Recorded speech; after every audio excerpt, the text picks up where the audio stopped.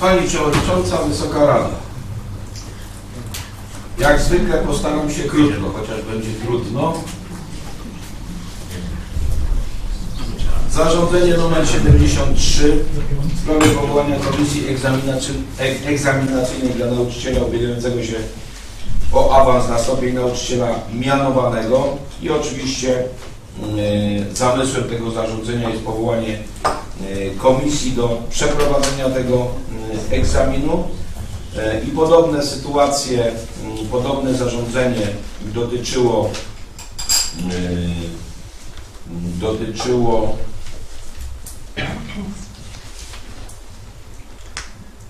zespołu szkolno-gimnazjalnego w Woli Krzysztopolskiej. E, Następnie, to jeszcze nie mam tego, za chwilę dojdę do tego, o jest, tak. E, W szkole podstawowej w Paźniewicach i w szkole podsta- podstawowej e, w Gomulinie i e, w tych trzech przypadkach skład komisji wchodzi pani Karolina Piotkowska, przedstawiciele organu sprawującego nadzór pedagogiczny, dyrektor szkoły oraz eksperci pani Jolanta Graczykowska i pani Urszula e, Aponowicz. Podobny skład e, był w innych mm, szkołach. I również zarządzenie w sprawie ustalenia dotyczące oświaty, za, us- do, y, w sprawie ustalenia terminu do y, składania wniosków o dofinansowanie do zakupu y, podręczników. Jak Państwo doskonale wiecie, y, uczniowie mają możliwość ubiegania się o dofinansowanie y, zakupu podręczników i każdego roku ustalamy taki termin na y, składanie tych wniosków. Y, W 2013 roku takie wnioski będzie można składać do 6 września 2013 roku. Następnie zarządzenie w sprawie zmiany składu osobowego Gminnej Komisji Rozwiązywania Problemów Alkoholowych Woli Krzysztopolskiej e, z różnych powodów mm, e, personalnych, dotacji. e, Jeden członek mm, komisji mm, zrezygnował i w miejsce e, pani konkretnie e, Katarzyny Filipek została wprowadzona pani Małgorzata e, Walas. Zarządzenie nr 68 zmieniające zarządzenie w sprawie wprowadzenia regulaminu udzielania zamówień publicznych przez gminę Wola Krzysztopolska. Chodzi tu konkretnie właśnie o ten nasz referat zamówień i pozyskiwania funduszy unijnych. Mm, Jak wiadomo, życie sprawia różne niespodzianki, rotacje e, wśród mm, pracowników e, i w związku z tym trzeba było właśnie w miejsce mm, osoby, która poszła na urlop e, na zwolnienie lekarskie, a, nadal, a następnie na urlop wychowawczy wprowadzić osoby zatrudnione na tak zwane zastępstwo i wprowadzić osobę, która została wyłoniona w drodze y, konkursu, a chodzi konkretnie o panią Adriannę Drzynicką, y, Kanię i panią, y, uciekło mi nazwisko i szukam, pani Barbara Osuch, która jest zatrudniona na zastępstwo. Zarządzenie nr 67 w sprawie ogłoszenia. Chodzi oczywiście, jeszcze do poprzedniego zarządzenia, chodzi oczywiście o y, skład komisji, mm, y, która jest ciągle powołana y, i ciągle pracuje do spraw rozstrzygania różnego rodzaju przetargów.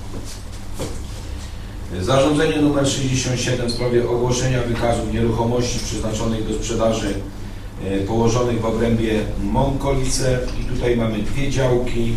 E, Działka o powierzchni e, 0,9 mm, hektara e, wyceniona na kwotę 6880. E, Wykaz ten e, będzie się znajdował na tablicy do 30 sierpnia 2013 roku.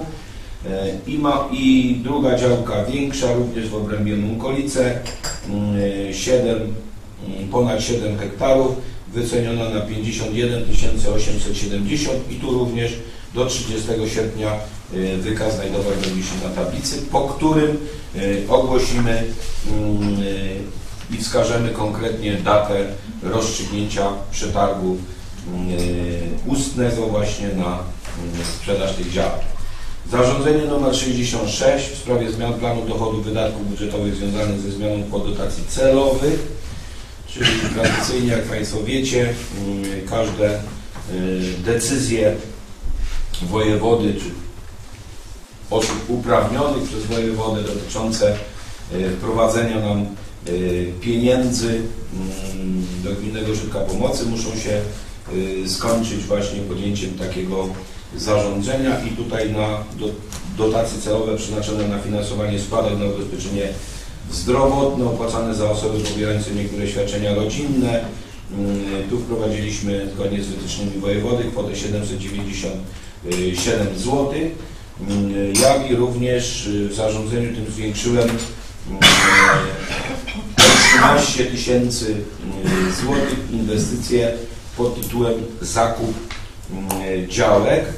Chodzi tu konkretnie o zakup działki w miejscowości Gąski. Skoro jestem przy tym temacie, to informuję Państwa, iż akt został podpisany.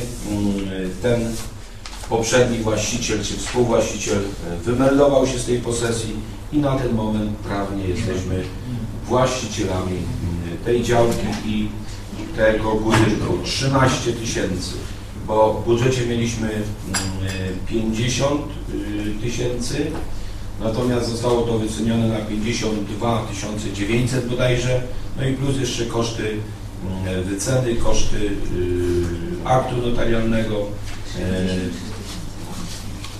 Znaczy to y, działka kosztowała 52 tysiące, ale oprócz tego są jeszcze koszty notarialne, koszty wyceny. Znaczy łącznie coś tam zostało. No, trzeba tu precyzyjnie sprawdzić. W każdym razie, w każdym razie już spotykam się tutaj z wielkimi podziękowaniami ze strony mieszkańców Gąski i te podziękowania są kierowane e, pod adresem e, Rady Gminy, jak i również moim. Także jest to decyzja, która została bardzo pozytywnie przyjęta przez mieszkańców sołectwa. E, już, w tej, już tej, w tej chwili są prośby o to, żeby umożliwić wejście na tą działkę e, w celu wykonania jakichś tam e, porządków, mm, ale najpierw muszę sprawdzić, czy, mm, czy ten budynek no, kwalifikowałby się ewentualnie do jakiegoś tam malutkiego remontu, czy do mm, rozbiórki. Natomiast za moment udostępnienie działki nastąpi i oczywiście ta pomoc społeczna jak najbardziej będzie możliwa do wykonania. I zarządzenie nr 65 w sprawie wprowadzenia regulaminu kontroli wewnętrznej instrukcji o biegu kontroli i archiwizowania dokumentów finansowo-księgowych w gminie Wola Krzysztopolska. Tradycyjnie w ślad za zmianą ustawy o rachunkowości, o finansach publicznych e, dostosowujemy taki regulamin kontroli wewnętrznej. To jest cały system e, prowadzenia mm, e, rozliczeń, prowadzenia referatu finansów, zamawiania, wydatkowania pieniędzy w referacie zamówień. No nie chciałbym tutaj opisywać całego regulaminu, bo on jest gruby. To jest po prostu wymóg E, ustawowy i wszystkie referaty są zobowiązane tutaj na podstawie tego regulaminu pracować. Tyle jeżeli chodzi o zarządzenia. Natomiast jeżeli chodzi o konkretne działania, prace wykonane w okresie między sesjami, to przedstawiają się one następująco. Tradycyjnie było ich bardzo dużo i oczywiście mam świadomość, że nie są tu wymienione wszystkie e, czynności, jakie wykonujemy, jakie cały urząd wykonuje e, każdego dnia, e, ponieważ no, zajęłoby mi tutaj bardzo dużo czasu, ale oczywiście mm, postaram się przedstawić te najważniejsze działania, które przynoszą konkretne efekty. Referat budownictwa, mm, tak jak wcześniej informowałem, nadal trwają prace związane z remontem Y, w świetlic, konkretnie w Glinie, Laski, Stradze. E, I tu, tak, y, tu y, te inwestycje zmierzają już y, do końca. Myślę, że w połowie mm, sierpnia już będziemy przystępować do czynności odbiorowych.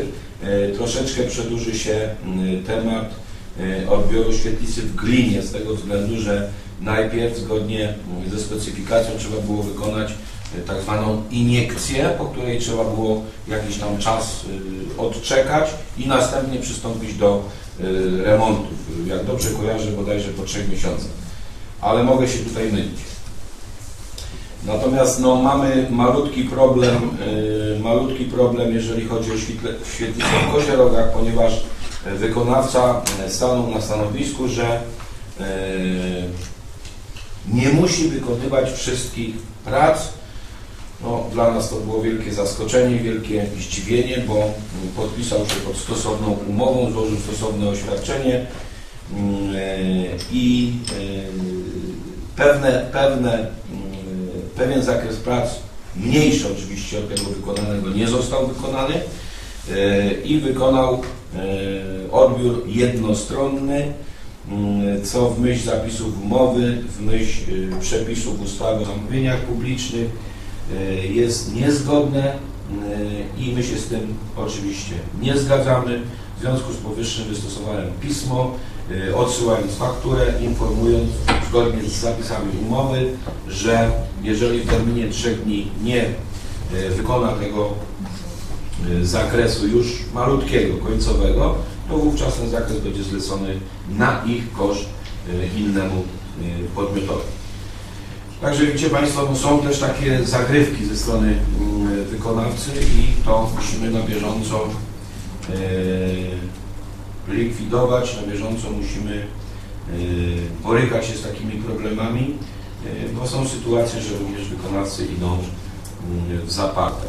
E, Jeżeli chodzi o wolę roczycką, tak jak wcześniej mówiłem, idzie wszystko w zgodzie mm, z harmonogramem. Oczywiście wystąpiły i nie tylko w woli roczyckiej w Świetlicach wystąpiły roboty mm, dodatkowe i podkreślam, jest to prawem e, przewidziane, e, bo są takie sytuacje, że no, okazuje się, że pewne roboty trzeba wykonać, ponieważ niewykonanie tych robót będzie się w przyszłości wiązało e, z większym e, wydatkiem. I oczywiście te roboty dodatkowe mm, mieszczą się w tych zapisach ustawy o zamówieniach publicznych, czyli nie przekraczają 50% kwoty mm, głównej. E, podobnie w Gminnym Ośrodku Kultury Woli Krzysztopolskiej wszystko zmierza ku końcowi. Wczoraj nawet odbyła się taka prezentacja nagłośnienia prezentacja e, oświetlenia e, i oczywiście wykonawca tutaj zaprosił nawet wokalistkę, która wykonała jakiś tam utwór, zapraszając oczywiście mnie i, pan, i, i również był Pan Skarbnik. Muszę Państwu powiedzieć, że nagłośnienie piękne robi po prostu to wrażenie. I oczywiście, nie wiem czy wcześniej informowałem, e, tą imprezę e, Smaki Królowej Wody będziemy musieli e, wykonać, przeprowadzić dopiero w październiku, dopiero w miesiącu październiku. Natomiast roboty będą zakończone gdzieś w okolicach połowy sierpnia, a to z tego powodu, że jak informowałem chyba Państwa już, Y, że no niestety trzeba było y, wykonać te wymogi jeszcze per y, zainstalować pewne urządzenia typu klapa, typu szersze drzwi i to spowodowało, że 28 czy 7 lipca nie byliśmy w stanie tej imprezy przeprowadzić. I w związku z tym oczywiście wystąpiliśmy do Urzędu Marszałkowskiego z prośbą o przedłużenie tego terminu. I tutaj raczej problemu nie będzie, e, bo można by było na siłę przeprowadzić to w sierpniu, ale wiadomo, sierpień miesiąc e, urlopowy, trudno będzie tutaj e, skojarzyć, poprosić osobistości, które mają być obecne, między innymi myślę tutaj o przedstawiciela Urzędu Marszałkowskiego. Następnie miesiąc wrzesień, czyli uroczystości nasze tradycyjne, czyli wypada październik, to już konkretnie jest 13 13 październik wstępnie y, ustalony. 14, 13 to nie.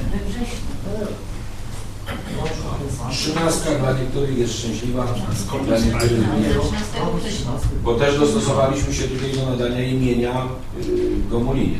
Bo tam jest planowany bodajże tydzień później, jak dobrze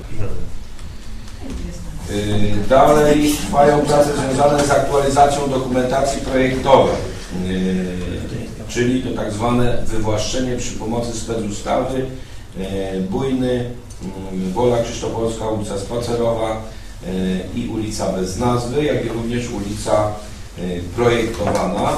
Y, Oczywiście wykonawca złożył już y, wniosek do starostwa o wydanie decyzji wywłaszczeniowej, ale niestety na, na etapie weryfikacji no jeszcze pojawiły się jakieś tam błędy i wykonawca te błędy musi mm, usunąć. Także no bądźmy dobrej myśli, że w końcu już to e, wywłaszczenie osiągniemy w połowie e, tego e, roku. A można by było oczywiście dużo szybciej, dużo łatwiej, gdyby była taka solidarna zgoda wszystkich właścicieli działek przyległych do pasa drogowego ale niestety prawo własności jest prawem świętym? Dlatego no nie wszyscy muszą wyrazić zgodę. Y, Dalej również y, trwają czynności odbiorowe y, w Świetlicy w Pawłowie Górnym. Bodajże w przyszłym tygodniu już będziemy wyznaczać termin na, ten taki no, formalny y, odbiór. Y, Prace oczywiście związane z budową Centrum e, Edukacyjno-Sportowego w Bujnach. Tu proszę Państwa e, dodatkowo e, przy pomocy własnych sił, własnych środków poza tą inwestycją określoną w umowie z wykonawcą dodatkowo zainstalowaliśmy na działce sączki po to, żeby jeszcze szybciej te wody odpływały do rowu melioracyjnego. I tu chciałem też podziękować przedstawicielowi y, spółek gminnych za wyczyszczenie tego rowu, bo był ruch melioracyjny, y, był bardzo y, zaniedbany, nieodnawiany w tej chwili, wygląda to pięknie i oprócz spływu powierzchniowego będzie również ten spływ przy pomocy sączy. Dalej również bujny, wszystko bujny. No oczywiście termin jest do 10 sierpnia. Niedawno, jak wczoraj rozmawiałem z panem prezesem, twierdzi, że w terminie wykonają to zadanie, chociaż my mamy duże wątpliwości. No gdyby się nie wywiązali w terminie, to jak Państwo wiedzą, będziemy zmuszeni stosować kary, kary zapisane w umowie, chociaż z tymi karami, proszę Państwa, naprawdę ostrożnie, bo pomimo to, że zapisujemy te kary w umowie i one nie są wysokie, to jest rząd 0,1-0,3% i tutaj mieliśmy taką sytuację, że wykonawca nie zgodził się z tym w odniesieniu do inwestycji w Krzyżanowie, bo podobna kara została zastosowana właśnie na, za, za niedotrzymanie terminu wystąpił do sądu o miarkowanie. Y, sąd uwzględnił prośbę wykonawcy i uznał, że y, te kary zostały zastosowane za wysokie. Wedle naszej opinii nie są to kary wysokie, bo to jest 6% kontraktu y, i w związku z tym złożyliśmy mm, apelację do sądu drugiej, drugiej instancji. Ale widzicie Państwo, jak to działa. No, kiedyś rozmawialiśmy na ten temat, że należy w umowie stosować bardzo wysokie kary za nieterminowość i tak dalej. No nie tak do końca. Bo jest tak zwana instytucja miarkowania w kodeksie cywilnym i z tej instytucji miarkowania może zawsze skorzystać sąd. W zależności od tego, jak do tematu podejdzie. No ja uważam, że racja jest po naszej stronie, bo 6%, 6% do całego kontraktu to nie są wygórowane kary. A kara ma wykonawcę zdyscyplinować do tego, żeby inwestycje wykonać w terminie. Zobaczymy, co ustali sąd drugiej instancji. No jeżeli podtrzyma to stanowisko, to będziemy musieli zwrócić kwotę około 28 tysięcy. Czyli odebrać, oddać. Yy, Dalej jesteśmy w trakcie w tej chwili, o, wyłoniliśmy wykonawcę dla długo oczekiwanego, nie ma tutaj pana radnego, remontu grobu żołnierza polskiego na cmentarzu w Bogdanowie. Yy, Dostaliśmy dotację od wojewody yy, i tu w drodze negocjacji za kwotę 5 tysięcy złotych już podpisaliśmy umowę. Ten remont grobu w najbliższym, w najbliższym czasie zostanie przeprowadzony. Następnie jesteśmy mm, już tuż przed ogłoszeniem przetargu na y, remont drogi y, w miejscowości y, Poraj. Dokładnie w czwartek, bo w tej chwili trwają prace dotyczące opisu specyfikacji. W czwartek, w przyszłym tygodniu będziemy chcieli już ten przetarg mm, ogłosić i tu w tym temacie podpisaliśmy umowę e, już właśnie mm, z Funduszem Ochrony Gruntów Rolnych w Urzędzie Marszałkowskim i dostaliśmy kwotę na budowę tej drogi, na remont tej drogi mm, 100 około. Bo nigdy nie jestem w stanie precyzyjnie powiedzieć co do grosza około 115 tysięcy złotych. E, Mamy tutaj na to zadanie 300, około 330 tysięcy złotych, natomiast zgodnie z kosztorysem mm, wychodzi kwota pół miliona.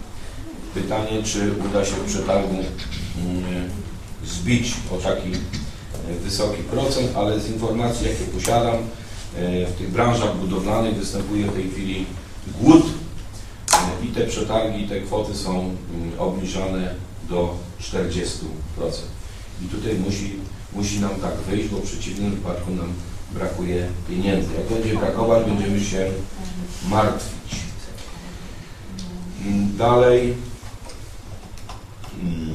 nie oczywiście w tym czasie różnego rodzaju prace porządkowe przed budynkiem Urzędu Gminy na osiedlu, e, zbieranie śmieci na przystankach, e, opróżnianie tych koszy mm, przystankowych. I to jest proszę Państwa swego rodzaju walka z wiatrakami, bo nie wiem jakie tutaj siły, jaką częstotliwość by wprowadzić przy zbieraniu tych śmieci, to następnego dnia niestety to zaśmiecenie nadal występuje i uważam, że tutaj no, musimy, y, nasze społeczeństwo musi do, dojść do jakiejś świadomości, jeżeli wspólnie nie będziemy dbać o y, nasze otoczenie, o porządek, o czystość, no to będziemy wydawać duże pieniądze, a i tak to zaśmiecenie niestety będzie występować. Mówię dlatego, że akurat ten dzień sprzątania przystanku na wysokości Woli Rokrzyckiej, następnego dnia jadę do, do pracy śmiecisko. Także no, trzeba było chyba... Ktoś tam obcy nie pojechał, wysypał. Trzeba, znaczy tu chodzi o, nie chodzi o wysypanie, nie chodzi o wysypanie, tylko chodzi o zaśmiecanie. Yy, No niestety, no, ta młodzież gdzieś nie wiem, czy nie, ten kosz jest niewidoczny, czy, czy to już takie jakieś nawyki i tak dalej. Yy, No trzeba było, nie wiem, no, Tam było, jest, każdego dnia yy, jeździć do sprzątać i wtedy moglibyśmy no, mówić o prawdziwym porządku. Dlatego tutaj jest prośba, apel, aby po prostu zwracać uwagę wszystkim, kto musi reagować na to całe społeczeństwo. Nic to nie daje. Y, Dalej poprawa przejezdności dróg poprzez właśnie y, łatanie y, tych różnych wyrw przy pomocy mieszanki, grysu z emulsją i to miało miejsce y, w takich miejscowościach jak Rokrzyce, Kargał Las, Wola Rokrzycka, Wygoda, Wola Szybkopolska, y, Krężna, Kozie Rogi. Y, Jak Państwo wiecie, do tego natrysku już dołożyliśmy kolejną kwotę 60 tysięcy, czyli łącznie na natryski już poszła kwota mm, 120 tysięcy. Więcej nie jesteśmy w stanie wygospodarować, ale wydaje nam się, że przy dołożeniu tej, tej kwoty y, kolejnej y, te wszystkie wyrwy y, poprawimy. Najgorzej jest na drogach y, tak zwanych destruktowych, gdzie te wyrwy, wyrwy są takie nieregularne i długie. I tutaj tej mieszanki y, wychodzi bardzo dużo.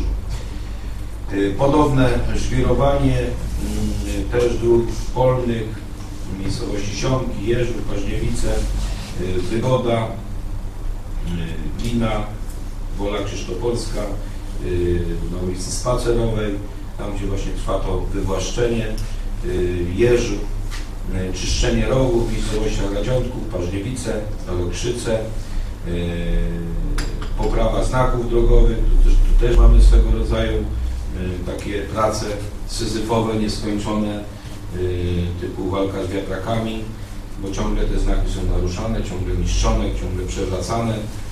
Mm, Wielokrotnie giną znaki. Dzisiaj był, dzisiaj jest, to już go nie ma. Także to są duże pieniądze, które na bieżąco trzeba y, wydawać. Również koszenie placów, działek gminnych, teren goku, park, skwerek. Y, Tyle, jeżeli chodzi o referat gospodarki, y, referat budownictwa, referat zamówień publicznych. Przeprowadziliśmy i rozstrzygnęliśmy przetarg na budowę oświetlenia ulicznego na terenie gminy y, w miejscowościach Gomulin Praca, Pałów Dolny, Gąski, część zachodnia, y, Gomulin, ulica Szkolna i tu najkorzystniejszą ofertę złożyła firma Żelbud z Tomaszowa Mazo- Mazowieckiego. Kwota brutto 87 637 zł i 50 groszy i tu zostaje nam y, około 13 tysięcy, po budżecie mamy 100 tysięcy. Mm, To ewentualnie w ramach tej umowy, w ramach tak zwanych robót dodatkowych czy uzupełniających jeszcze spróbujemy jakiś obwód y, uwzględnić, ale to musi być taki obwód, żeby, żebyśmy się zmieścili właśnie w, tym, w tej kwocie 13 tysięcy, bo tyle jest pieniędzy w budżecie. Mm, y, Również przeprowadziliśmy przetarg i rozstrzygnęliśmy y, postępowanie y, na remont cząstkowy, o którym właśnie mówiłem, na remont cząstkowy nawierzchni drogowych, czyli ta dodatkowa y, umowa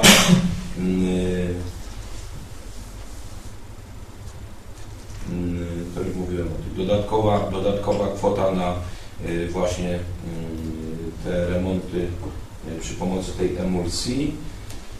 Dalej rozstrzygnęliśmy właśnie taką usługę monitorowania i konserwacji systemów monitorowania i budowa systemów alarmowych.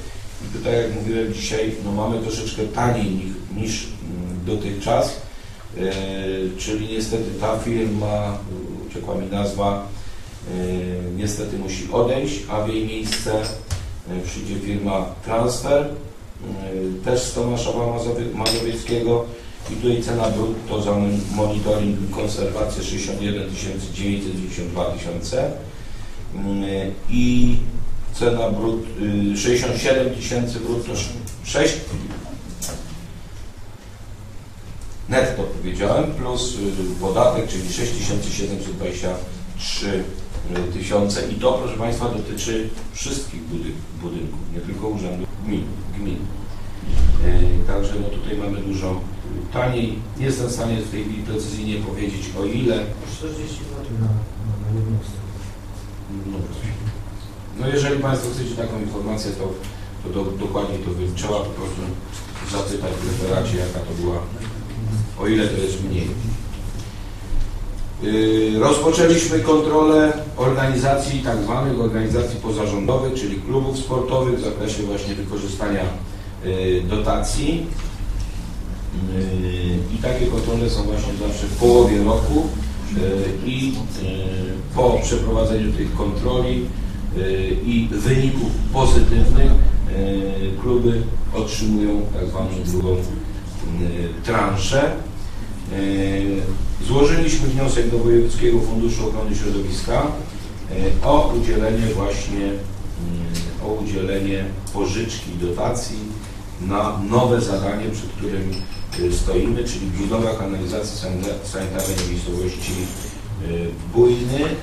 I tak jak Państwa chyba informowałem wcześniej, y, jesteśmy już na ukończeniu zmiany pozwolenia odnośnie tej przepompowni y, w Bujnach, bo w związku z tym budową chodnika, no, któryś tam z projektantów y, pomylił się albo to samo, czyli to jakaś na pewno tam była tylko wyłącznie pomyłka. Trzeba było półtora metra dosłownie przesunąć e, tą przepompownię e, w głąb, dosłownie półtora metra, a to wymaga samej procedury zmiany e, pozwolenia na budowę. I już wnioski, wszystkie dokumenty mamy złożone w starostwie. W tej chwili czekamy na wydanie tego pozwolenia zamiennego. I oczywiście w tym okresie wydaliśmy kolejny numer biuletynu gminnego. Y, Dalej referat gospodarki komunalnej, jak zwykle liczne remonty, liczne usuwanie y, awarii, bieżąca konserwacja, utrzymanie, doglądanie, przeglądanie. I tutaj znowu ta słynna tabelka na uwagę zasługuje tutaj ilość awarii na hydrancie w ilości 6 y, dalej y, odbiory techniczne w ilości 5 wydane warunki y, techniczne w ilości 5 pozostałe y, awarie y, na urządzeniach różnego rodzaju w ilości y, poniżej 5 w największym y, skrócie. Oprócz tego y, prowadzimy właśnie kontrolę na terenie Woli Krzyżtopolskiej przy pomocy tzw. zadymiarki y, właśnie w zakresie y, odłączania się od y, przyłączy sanitarnych. Y, I tutaj mamy pewne y, efekty. Jest duża grupa ludzi, która przyjmuje to z pokorą i dobrze mówię Panie Wójcie, tak? I dostosowuje się do naszych wytycznych, bo no dzisiaj możemy w 100% powiedzieć, że to wypływanie tej wody, czyli podczas ulew, jest spowodowane tym, że przyłącza do przyłączy sanitarnych są prowadzone wody mm, deszczowe, a kanał deszczowy jest po prostu y, pusty. W związku z tym sukcesywnie, sukcesywnie każdego dnia y, prowadzimy te y, kontrole przy pomocy tej zadymiarki, urządzenie niezawodne, zadymi, wypłynie w rynnach, wszystko wiadomo. I po prostu nie ma dyskusji, nie ma się zmiłuj, trzeba się po prostu od tych y, przyłączy sanitarnych odciąć i przełączyć do y, kanału deszczowego. Y, Podobne kontrole wykonujemy również na y, miejscowości Glina, y, Krzyżanów, y, Siąmki, najmniej w Siąmkach. No jest jakiś tam mały opór w Krzyżanowie, jeżeli chodzi o, mm, o to y, podłączanie się do kanalizacji. No idzie to y, opornie. Glinę mamy prawie załatwioną. Y, Tutaj jest apel, prośba również do Pana Radnego, bo y, są takie sytuacje, że ktoś podłączył się, proszę Państwa, y, jest protokół odbioru technicznego y, i dotychczas nie ma umowy. Czyli odprawa, odprowadza się bezumownie ścieki do y, kanału sanitarnego, Panie Wiesławie. To jest przestępstwo. Dlatego będziemy to egzekwować i natychmiast wzywać tutaj do podpisania, y, podpisywania tych umów. A z drugiej strony no jest to dla nas bardzo istotne, ponieważ y, musimy osiągnąć ten efekt y, w Urzędzie Marszałkowskim. Mamy tutaj termin do końca roku. I tu w tym temacie nawet wydaliśmy jedną decyzję, jedną się, dobrze, jedną decyzję tak, zmuszające, nakazujące y, do podłączenia się. Y, Bo tu, proszę Państwa, wystąpił do mnie też mieszkaniec z takim zapytaniem, bo było dla niego to y, niejasne, czy ma obowiązek się podłączyć, czy nie ma się obowiązku podłączyć. Jeszcze raz podkreślam, żeby to było zrozumiałe dla wszystkich. Co do zasady, mówię o mm, y, terenie całej gminy. Y, Jeżeli jest, co do zasady, nie ma obowiązku podłączania się, się do kanalizacji. W przypadku, gdy nie są spełnione te warunki podłączenia, czyli idzie sieć przez miejscowość X, czyli w tym przypadku Krzyżanów czy Siąmki, mm, jest pusta działka i nie ma odprowadzenia do tej sieci, do tej działki, właściciel tej działki nie ma obowiązku się podłączyć do kanalizacji. On może wybudować sobie oczyszczalnię, może sobie wybudować zbiornik bezopowowy, natomiast w przypadku, gdy są warunki, czyli ta kanalizacja, te przyłącze jest wykonane, to cośmy wykonali, to w takim przypadku ma obowiązek z dwóch powodów. Z ustawy i również na podstawie umowy, którą podpisaliśmy. Czyli ta umowa przeniesienia rzeczy przyszłej y, to nic innego jak zobowiązanie mm, Kowalskiego do podłączenia się do tej y, kanalizacji. Także no myślę, że to jest chyba jasne i oczywiste, bo odpowiadałem na piśmie, mm, że no to jest niejasne. Tam, gdzie jest przyłącze, podeszliśmy ze studzienką yy, pod konkretną działkę, obowiązek podłączenia jest. Jeżeli nie ma podłączenia, nie ma przykanalika, jest tylko sieć w pasie drogi, yy, drogi obowiązku nie ma. Nie możemy zmusić ale oczywiście z drugiej strony no, nam zależy na tym, żeby jak najwięcej mm, tych, tych mieszkańców się do, do tego podłączyło.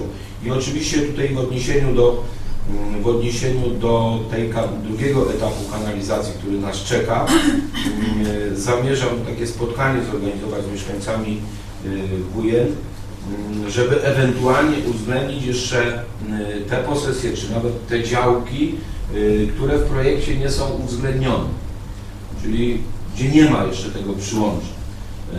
Y, I ewentualnie tu rozważymy y, roboty dodatkowe, mm, ale na zasadzie, że właściciel po prostu pro- wykonuje ten projekt przyłącza mm, i my następnie to w trakcie wykonywania tej roboty y, to wykonamy i poniesiemy koszty w zakresie przyłącza, które znajduje się w pasie drogi. No bo potem, gdy się tego nie uwzględni, to potem trzeba się po prostu do tego dokopywać. Natomiast no też y, odprowadzanie przykanalików do y, działek y, dużych, niezabudowanych jest y, trudne, bo nie wiadomo w przyszłości, co ten właściciel z tą działką zrobi na ile części ją podzieli, w którym miejscu będzie budynek, czy będzie w stanie się dostosować do tego przykanalika i tak dalej, i tak dalej. Także tu trzeba maksymalnie to mm, wykorzystać, chociaż no, nie uwzględnimy w 100% wszystkich posesji, które powstaną za yy, rok, 5 czy 10 lat. Cały czas to Nie bójcie, Przyłączamy. Czy w gminach są takie same przypadki, jak i Krzyżanów i Glina odnośnie tego, że osoby wyraziły, a są nie, niepodłączone? No to te, te, sześć przypadków są tych Krzyżanowie i na... Znaczy wy, wychwyciliśmy takie przypadki, że, mm, że jest w projekcie, znaczy są umowy, nie ma projektu. Aha, czyli są te same przypadki, co tutaj były na tym terenie. Tak, no to z różnych powodów wynikało. My nie jesteśmy w stanie teraz ustalić, kto jest winien. Y, Jest wiele takich przypadków, że y, no, ludzie, którzy nie wyrazili na etapie projektowania zgody, teraz już są chętni. No i teraz jest problem. Właśnie tutaj myślę o tym, że te osoby, załóżmy, wykonają projekt i my uwzględnimy to jako roboty dodatkowe i pokryjemy koszty w zakresie y, tego, tego y, tej sieci. Przyłącza, prawda? Formalnie jest to sieć. Budowy. Y, Do granicy działu. Ale łącznie z częścią projektu, czy tylko sama budowa? Nie, projekt nie. Nie. Sama A, budowa. a te osoby, które... A od studzienki, czyli do budynku, te osoby muszą już... A te osoby, które sytuacja podobna jak u nas, czyli z różnych powodów tam nie została ta kreska zrobiona na tym projekcie, czyli w tej chwili naj, najmniejszy koszt by był podczas budowy ich Tak, podłączyć, to, to uwzględnimy, bo jeżeli, nie kojarzę w tym momencie, czy są takie, je, jesteśmy w trakcie weryfikacji tej chwili, ale jeżeli będą takie sytuacje, że mm, y, jest umowa podpisana, a nie ma tego w projekcie, to my mamy obowiązek to zrobić. No bo, Bo to się zmniejszą koszty, bo tej Oczywiście będziemy nam naprawdę- ewentualnie od projektanta, czy, yy, czy, czy to jest jego wina, czy kogoś innego. Zazwyczaj te wina, ta wina się rozkłada na dwie osoby. Także no, tych problemów nie ominiemy, te problemy były, są i będą i najprawdopodobniej będą również problemy mm, na etapie realizacji y, odnośnie no, przesunięcia tego przyłącza w prawo, w lewo, bo ktoś tam w międzyczasie y, coś sobie udoskonalił, ulepszył, wybudował chodnik, drzewko i tak dalej. I właśnie tutaj chcę wcześniej zrobić to spotkanie, żeby już uwrażliwić mieszkańców, że to będzie trudne po prostu, bo to wymaga zmian, procedur i tak dalej. Y, Zmiany istotne, nieistotne. Projektant musiał dodatkowo y, to przeprojektowywać. Musielibyśmy zgody w Urzędzie Marszałkowskim. No ale jeżeli będzie taka potrzeba, to też będziemy y, to robić, bo, bo to samo żeśmy przeżyli Woli y, Krzysztoforskiej, w Siąkach Krzyżanowej i myślę, że nie ominiemy tego w Bujnach i w innych miejscowościach w przyszłości. Bo każdemu dostosować do jego wymagań, no niestety jest niemożliwe. Także tyle. Dalej już króciutko zmierzam do y, końca. Y, Referat gospodarki komunalnej, czyli nowy. Przeprowadziliśmy czynności związane z zakupem działki, o której mówiłem, y, w Wąskach, co kosztowało 52 090 zł dokładnie. Y, 2 lipca Komisja Przetargowa podjęła czynności związane z przeprowadzeniem czwartego już przetargu ustnego, nieograniczonego na sprzedaż działek budowlanych w miejscowości Wola Krzysztoporska. Niestety przetarg zakończył się po raz kolejny wynikiem negatywnym i mamy tutaj odpowiedź, że niestety rynek jest jaki jest. Cena jest obniżona o 40%. Możemy teraz ewentualnie rozważyć mm, dalsze obniżenie, bo tam, jeżeli dobrze pamiętam, maksymalnie możemy do e, 60%. Ale niestety, no widać, że po prostu rynek jest kiepski, y, ludzie najprawdopodobniej nie mają y, pieniędzy, bo wydaje mi się, że jeżeli chodzi o lokalizację, miejsce, no to jest to bardzo dobre.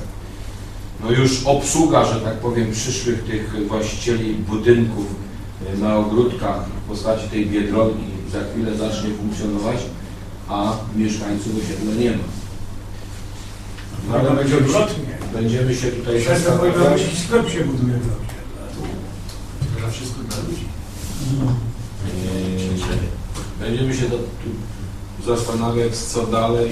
Być może jeszcze obniżymy tą cenę o jakąś tam mniejszą kwotę.